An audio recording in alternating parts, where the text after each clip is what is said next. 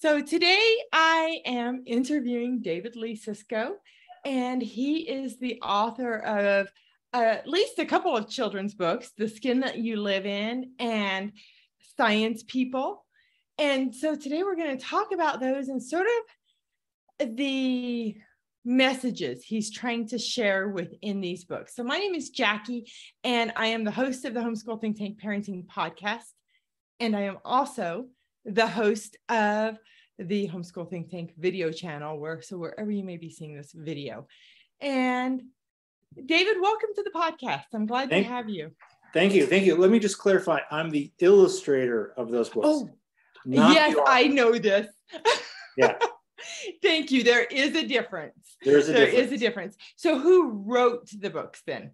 What so, so um, the the first the first book uh, which I illustrated was The Skin You Live In, which is now in its 19th printing. It's it's it's done oh, really really well and was recently translated. We translated into Spanish, and which is available I think online. And um, uh, over the summer we we translated into French. That book was written by um, Michael Tyler, a Chicago author, who wrote the book um, a long time ago, uh, 19 years ago.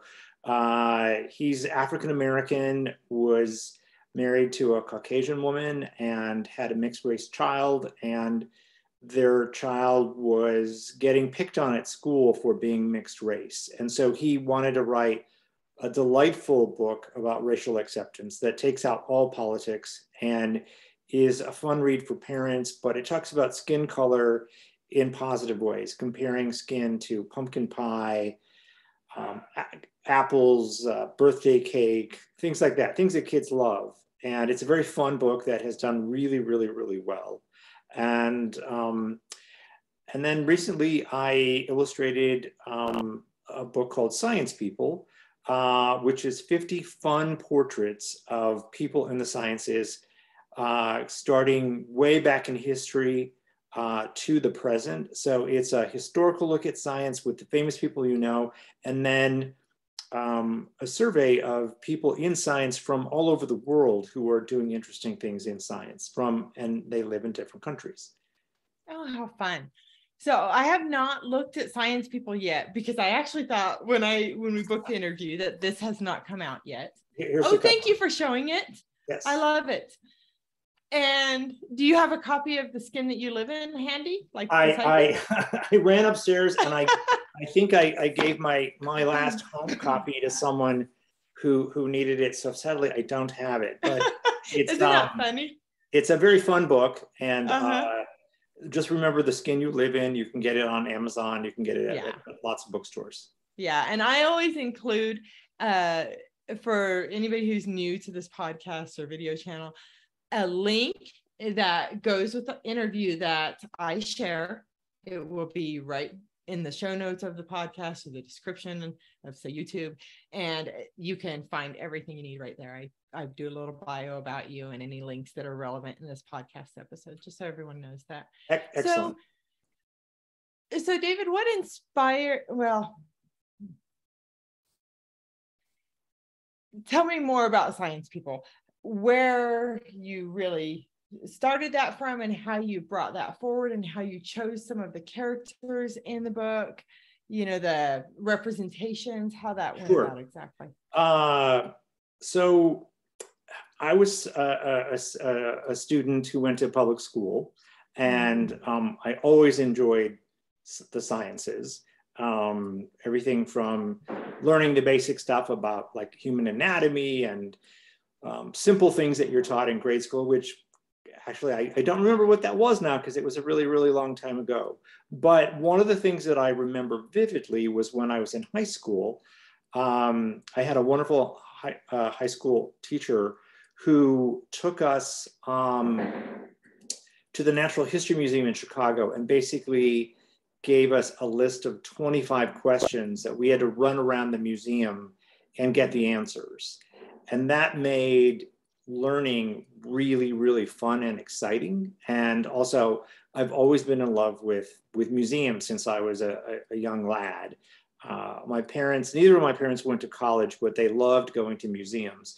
And so i visited the I grew up outside of Chicago in Hammond, Indiana, and in Chicago, where is where I live now, um, has some great museums. We have the um, Museum of Science and Industry, um, which is all about technology and uh, science, but, but also looking at industry and technological advances. And then we have the Field Museum of Natural History, which is a collection of, of natural history and um, amazing exhibits, um, dioramas um, covering everything that's all about natural sciences.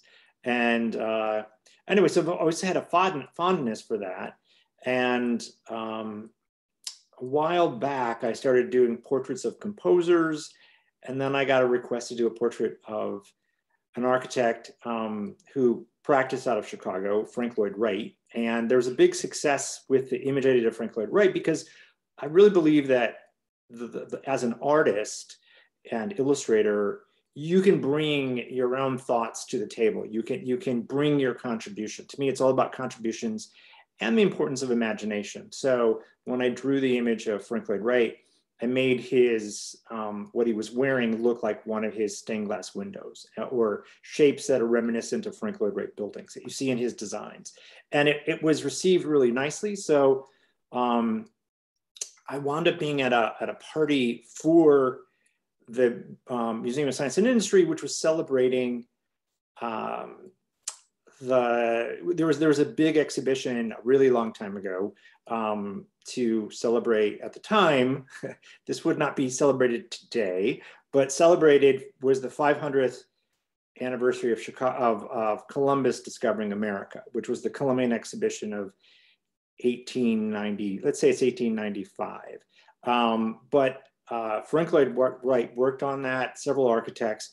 And so the museum asked me to celebrate the key figures from the exhibition because it's always being looked at as being an important, it was the first world, one of the first world fairs where people from all over came, came together.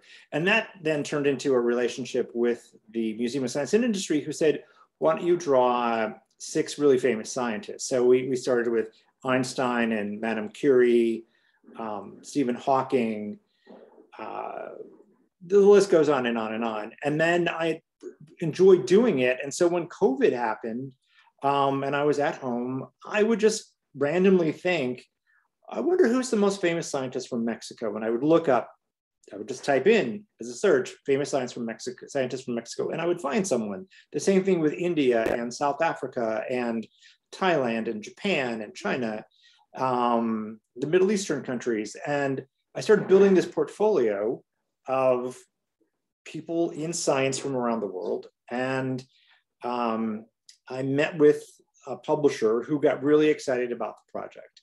So together between the publisher's team and myself, we came up with, up with a list of 50 people to celebrate. So, uh, people different countries and maybe from some countries we haven't even really heard of those people am i right? Correct correct correct yeah. The book really tries to be very inclusive. Uh, i love that. and also sort of tell the story of the of each individual scientist who um, the um, author of the science book um, those are written by lindsay um, Lindsay Sinclair. And um, uh, what we found fascinating was that what was amazing about some of these scientists is that they necessarily were not the best student in their youth, or maybe they dropped out of school, or they pursued a bunch of different things, but eventually they they wound up in the sciences. So a, a really interesting person to me, who's fascinating, who a lot of young people, especially children, adore, is Sue Hendrickson, who mm-hmm. was the paleontologist who found the largest T Rex skeleton. And um, she found it uh, out west, and um, it is has been put back together and is on display at the Field Museum of Natural History and is their number one draw for young people to see. It's beloved. It's beloved. If you haven't been to Chicago, come to the Field Museum and go see. It's nicknamed Sue after her, after Sue Hendrickson. So it's called Sue the T Rex. But Sue Hendrickson um, was not the perfect student. She was not the straight A student. She, in fact, dropped out of high school, um, didn't like it, and then took up scuba diving and then was diving on, on wrecks and finding sunken treasure. Somehow that led her to working with um, paleontologists, and she went into the field of paleontology and then went on this dig and she discovered this amazing find, which was this great big dinosaur skeleton, perfectly intact, which was the first time that, it, that they had found one that big. So I think she's really fascinating that here's this woman who has an interesting path. Um, and I think for young people today, because not everyone fits those boxes. Not, not everybody is a straight A student. Um, and everyone has very varying challenges. Um, but but what the book celebrates is is what these people did, which makes them interesting, and and it celebrates their contribution to the world. They've they've all done something that has made the world a better place. I love this, and uh, the whole T Rex thing for a moment. I last summer we went to Museum of the Rockies in Bozeman, and they have one of I thought it was the largest T Rex, but maybe I'm remembering wrong. But it, it's very large and very impressive. Oh, cool, cool. so yeah, so I also so, the, also ahead. the book, um, the science book has more women than men scientists. Okay, um, now was that intentional or just it, the way it, it turned out? It, was just because um, for a long time women have been left out of the picture. And so mm-hmm. we're trying to right that that wrong. So um, I wanted to show you, I don't know if you can see it, but yes, I can. Okay, so that is, this is Mary Anning or Awning, Anning, um, who found the first marine dinosaur skeletons. And uh-huh. because she was a woman, she didn't get credit. Um, the when was that? Pardon? When was that? What year? This is um, she lived from. She's very very old. This is from 1799. She, she was born in 1799 and died in 1847, and she lived on the coast of England. But uh, women were not allowed to join the archaeological societies of Great Britain. Even though she was finding all of these things on her own, men were able to take the credit, which which which sadly happened quite a lot. Um, there's another anyway, but she's celebrated in the book, and there's actually a, I think there's a, a movie or two about her. She's really quite fascinating. So she found this marine um, sea sort of dinosaur, marine mammal um, skeleton on, on the on the coast of England. Okay. So your book is to it seems like both of your books are a lot about celebrating diversity in yes. various, you know, illustrating people in say the skin that you live in of yes. all, all different colors and in the science people celebrating science yes but we're also making a point to recognize women men people of various um, origins and yes yes. cultures basically yes. yeah so that we're really just sort of showing that we're all capable of yes. doing yeah. these great things yeah yeah and and um, in the science book um, so i'm going to show you a picture um, so, so with the image of galileo mm-hmm. he is looking at a telescope because he is credited for being one of the first people to develop the telescope mm-hmm. Um, which goes which in galileo lived in the 15 he well he died in 1642 and okay. um, he was a big thinker and um, in the time that he lived in was very conservative times that uh, it was controlled by the church and so being the catholic church in rome so his findings were then taken beyond the borders of the Rome, holy roman empire and wound up in the netherlands that was um, Protestant. And so they have that, all of his findings were sort of celebrated there. Even though he was a man of the Renaissance, um, times are changing all the time as we as we live in changing times here. It's all relevant. It's it's very mm-hmm. relevant to the bigger picture. Yeah. Well, what I like about this uh, for homeschooling parents is you can actually, especially with science people, it seems like you can use that book as a springboard exactly. for a lot of other, say, unit studies. Yeah. Yeah. Or just you can really integrate a lot of history with the science. Exactly. I, I see a lot of ways that a parent could take this book and use it to just help garner interest in other areas for your children.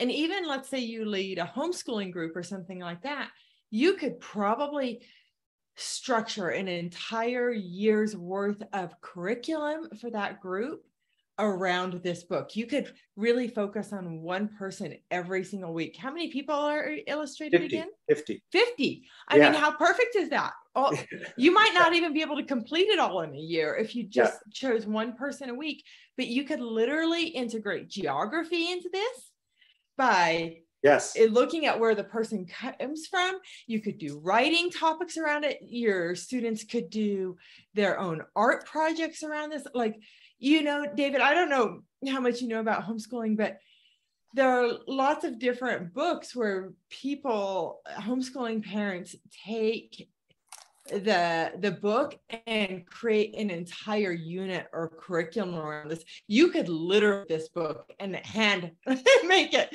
for people because it's really interesting and i Yeah. think i i do like the approach with this and how you're just sharing about all types of people and it's it is very inclusive and i like it's very inclusive, but and also what's unique about the book Mhm. is that each scientist is pictured with a tool that they have that they may have used or something that relates to their scientific field. So in uh, Louis Pasteur, who is credited uh, credited as sort of the father of vaccines, um, I actually looked up his actual microscope and did research to find what it looked like, and so um, it's I've redrawn it right there. So in a in all of the pictures, it usually include so like Thomas Edison has the first light bulb. So there, Mhm. the book is meant to be to make education fun, but to to uh, um, so like Madame Curie, who discovered uranium, which is green. She's wearing a green outfit. She's looking at uranium, and um, sadly, um, she she she died from too much exposure to uranium. So um, everything everything all the pictures are are intended to inspire a young person to read further. That that that I'm trying to um, invite your imagination. That if you find a picture interesting, you'll want to read the, the short bio about the person. Yeah, I uh, my mind is just like going a hundred miles an hour as I'm looking at these pictures.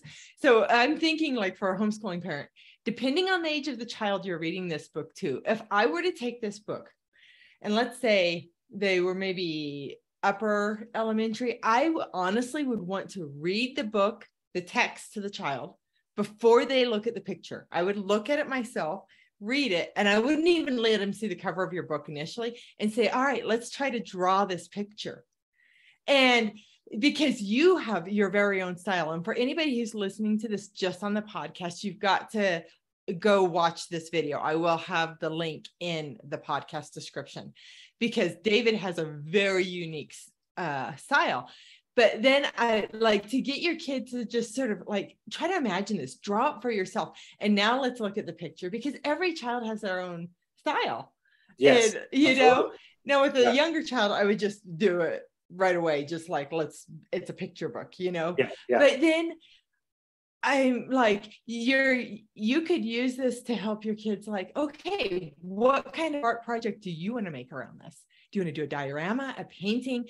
Do you want to do graphic design on the computer to do this yourself? You know, um, like this, I I love this. I'm just looking at this, and the wheels are turning as to how parents could really take this book and use it for so much more. Because, I mean, there's you could literally, you know, there are books about all of these people you could find age appropriate books for your kids help them you could they could even just choose just a few of the people and really dive deep but you never know um, where your book will just help open up uh, exploration. I can, the author is slipping my mind right now, but I know oh, in my, is it thir- the 39 Clues books?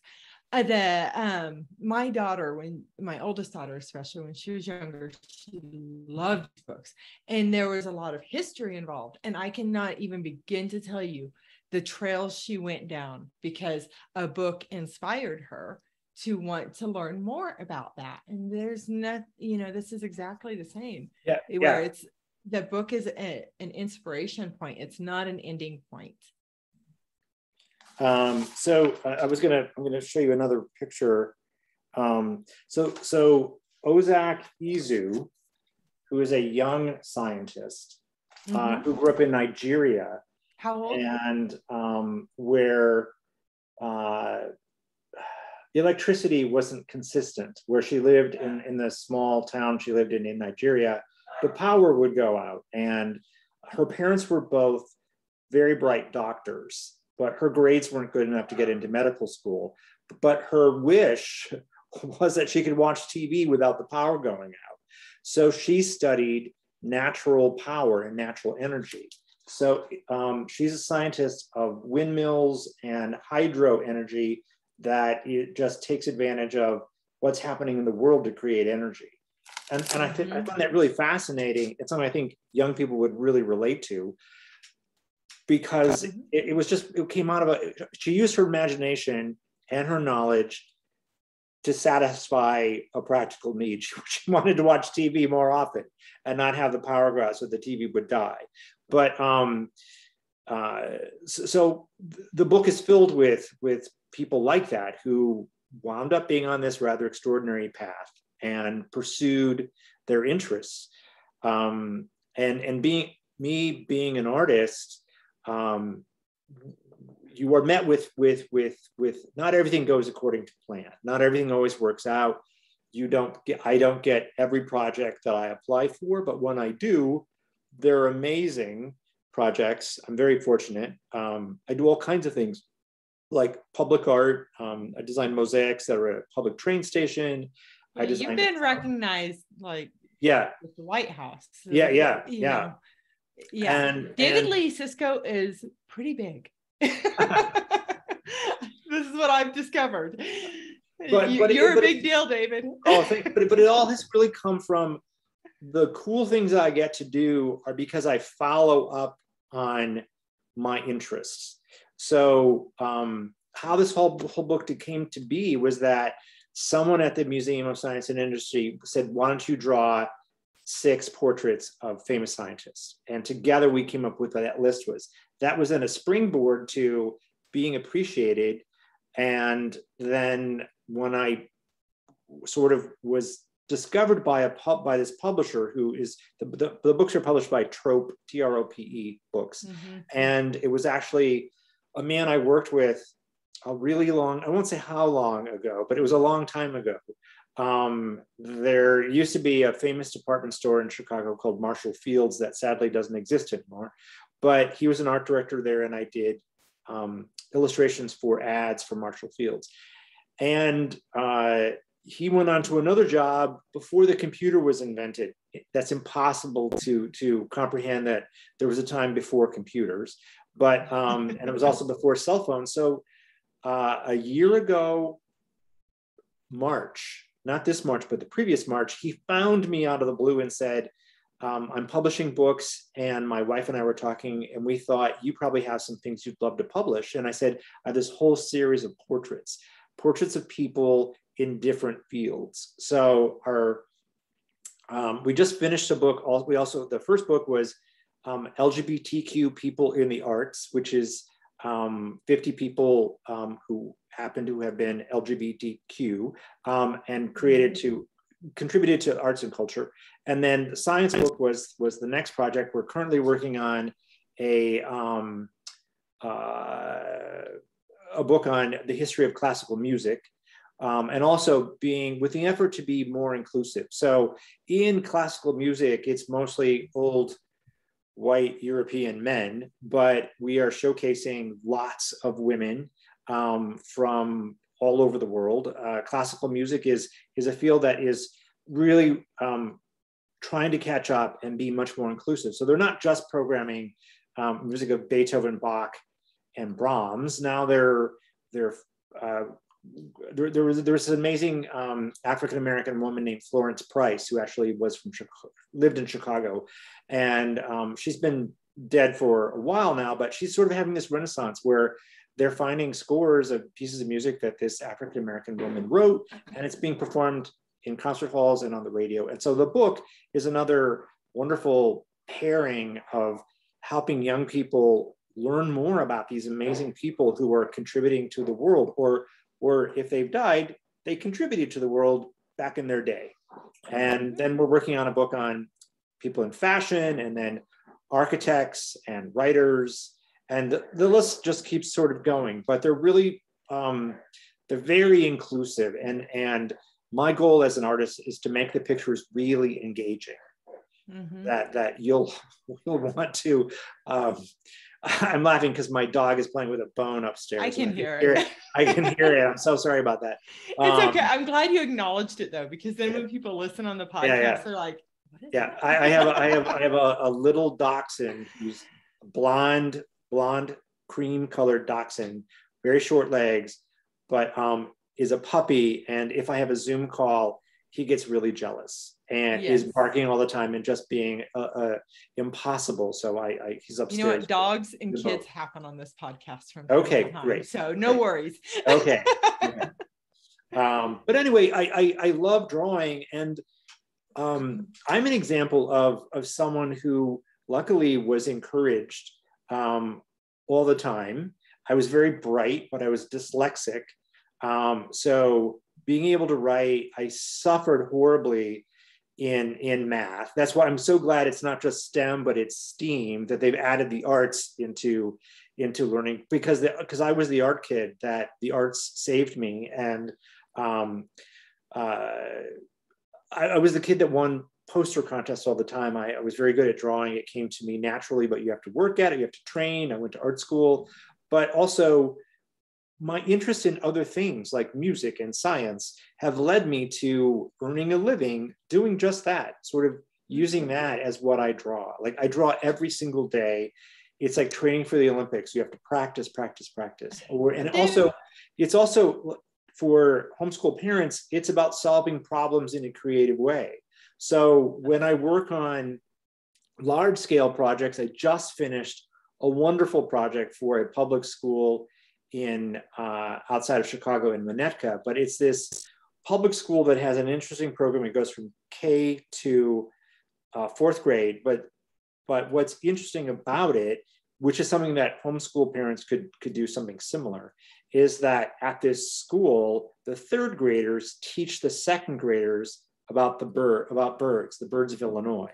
So that was something we wanted to celebrate with this mosaic mural. So I drew let's say I drew seven different birds. Um, and uh, I had lots of conversations with the art teacher, with the principal, about what would be appropriate to, to draw and make this all work. And so then I had, so the name of the school is Greeley Elementary, which begins with a G. So I drew a large topiaried G. So topiary is when you make a bush or a tree take on a shape, like you can shape it in the shape of a dinosaur or a heart or a star or circles. But this is a is the capital G with leaves in it and then branches and there are birds flying around it so they're very big so there's a blue jay a cardinal um, an owl uh, there's a little graduation bird with a mortar board a mortar board is what um, kids wear when they graduate special kind of hat with a tassel. So that's on the top of the tree. But um, it was a matter of, of, of figuring out how to communicate, which is sort of the basis of what I do all the time is good, clear communication so that in my pictures, you get a sense of what I'm thinking. And, and I, and I want to communicate that. I hope, I hope that makes sense, but it's the kind of, but, but that to me was such a good uh, problem that had to be solved. How can I show the birds of Illinois. I don't have to draw them so that they're identical or that they're realistic. I, they're based on the shapes that make up the bird. The cardinal has an interesting shape. The blue jay is blue and has an interesting shape. So, um, sort of studying and looking up what these birds look like, and then breaking them down into simple shapes that communicate. Oh, that's that's that's a blue jay. That's a cardinal, and it's the kind of thing that a third grader would then take a second grader and point to everything and tell them what the birds are. So I know within that is something that parents homeschooling could come up with a similar project that they can get older kids to teach younger kids and sort of share the excitement of that dis- that discovery of learning. Absolutely. You know david because you are so about diversity and inclusion and all of those things this is something i've often said is um it's like we celebrate all things diverse except the way people learn uh, in our education system. It historically has been pretty exclusive like yeah. i excelled in the education system because i'm really good at the things they want you to be good at right. however my younger sister really struggled because she is probably a whole lot more like you so creative like she can draw anything. She should be an illustrator for Hallmark, right? She yeah. makes beautiful cakes. She has gifts that the public education education system historically does not celebrate. And that's something I try to help encourage homeschooling parents to do is recognize, recognize that your children have different gifts and they may not be what we have been trained as a society to value. Absolutely. Absolutely. Yeah. yeah. And, and, but the one thing that I found fascinating is like working on a big public art project like the, the school project I just told you about, mm-hmm. um, it, it also ties into math in, yes. in an interesting way. It's like I have to take measurements, I have to draw it to scale. Then um, I'm given, then I have to come up with how much is this going to cost? Sometimes people already know we have X amount of dollars to spend on this. And then I have to figure out can I get people to work so so that at the end of the day we're at the same number often we're not so i'll have to say you know i need $5000 more to complete this task and so it's it's about it becomes a math story problem you know mm-hmm. um, how much do five apples and three oranges cost and I, I, just keep thinking that I, am a living math story problem all the time. That that even though I'm just making a picture, it goes beyond that. That I have I have math. I have to use math and and make sure that everything adds up uh, at the end of the day. And that's that's a big challenge. And then and then also what's also really important is being able to express yourself which which thankfully I'm very very good at talking and trying to distill it down to its simplest the simplest way to say something to get the point across even if the point may be a stretch of the imagination and I think because of the fact that I'm challenged by uh, be, being dyslexic that writing certain things becomes complicated um, that in speaking I, I try to, to speak in a, in a really clear manner, but get various points across, but but do it in, a, in an inclusive way that that hopefully we're we're on the same path. You're you're you're understanding what I'm saying and it makes sense. Um, which is also something that gets left out, especially like in the world of art, it becomes a world of giant words, words that the average person doesn't know what they mean. And so to me, I'm like, throw that away, let's let's let's make this accessible for more people and figure out how to talk about something that's really complex in a simpler more understandable form and then see where it goes. See like these books are meant to be um, a conversation starter or a project starter right? As you suggest that uh, they can be used in in various ways to sort of spread education and um, and make it as accessible to a variety of students yes David, can I ask you? We didn't plan on this, but can I ask you a little bit about your history and how you like your experience in school and um, how you evolved as an artist? Because now I'm getting more about you. I'm really curious. And I have to think other people might be too. Do you uh, mind sure. if I ask this? Of course. Okay. Of course. So, so what really got you like at what age did you like start identifying sort of as an artist like you just like loved to draw or paint or what, what is your base medium drawing mostly mostly yeah mostly mostly it's it's making sketches um so so just to quickly tell you how i how I, the process of, of making these books is um it's very easy because of google and various search engines mm-hmm. at the computer you just type in what did madame curie look like Marie Curie, what did she look like? And you you see pictures. So then I'll I'll study the various pictures.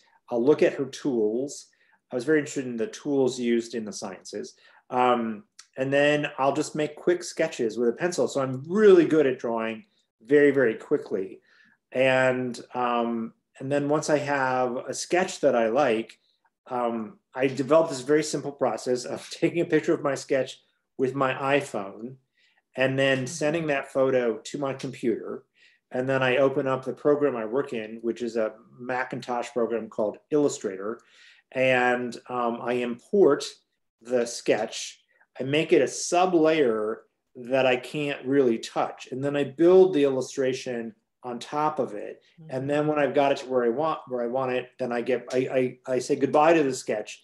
And then I just go to town and, and fill it in with shapes shapes and colors and blends and um, but but it's that sort of like starting with a quick rough sketch that I can do sometimes in a matter of seconds or less than a minute and and then I just sort of go to town and and start building it but I was a kid that loved drawing early early early on um, I was always good at it uh, and I was encouraged which which was which was wonderful so who encouraged you um, I would say my mom was really encouraging um, the most, and and then uh, so I started off. Uh, both of my parents were um, uh, they uh, immigrant immigrant immigrant children. My my dad's parents were from Hungary, and so my mother's family was from Poland. So um, they grew up in small Polish and Hungarian neighborhoods, and they went to the to the um, they went to Catholic school, so they thought let's put him in Catholic school because that's what we did. And so when I got to Catholic school, it was the height of the baby boom, and so there were 75 kids in a class as opposed to 25 or whatever is considered the ideal thing.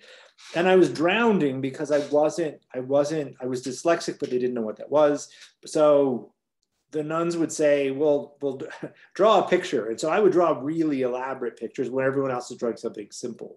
And then my parents said, this is so expensive to go here. It's free to go to public school. So in public school, um, there was a bigger art program and, and I just would like win the poster contest, win the science fair because the drawing was so good. And so I was always encouraged and encouraged. And then um, uh, when I was in high school, I, I, I participated in theater and um, I just one day said I'd like to design the set, and I didn't know how to do this, but I figured it out, and the the the teachers there sort of worked with me, and so I was designing these big productions from props to scenery to a sketch of what I thought the color of the costume should be, and then I went to art school. I went to the Cleveland Institute of Art, which is based on um, at the time when I went there, there was a, a art school in Germany um, before World War II called the Bauhaus. And the Bauhaus thought that all artists should have a very varied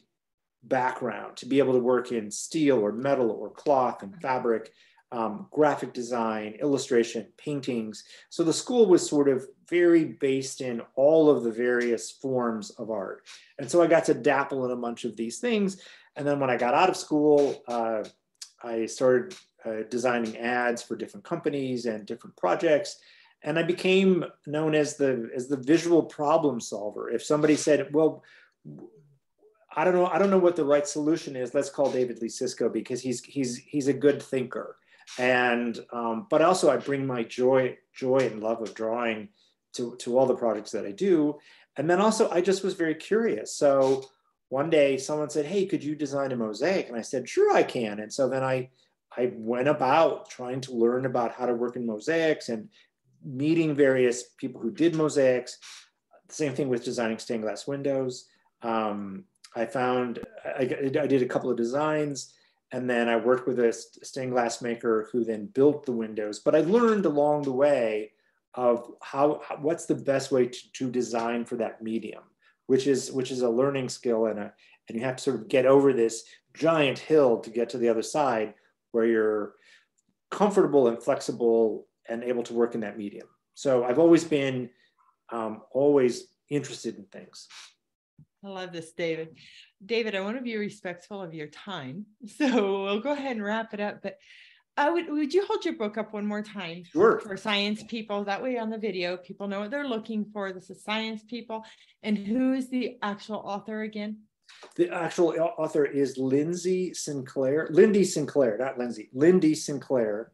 Lindy uh, Sinclair, uh, and then uh, David uh, Lee Csicsko is clearly. Yeah, yeah. So we're both we're both called the author of the book, but but she yeah. she wrote the biographies. I understand what you mean.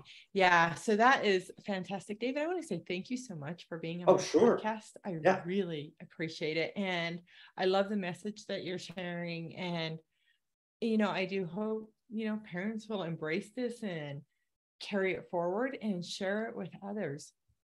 So, thank you again, David.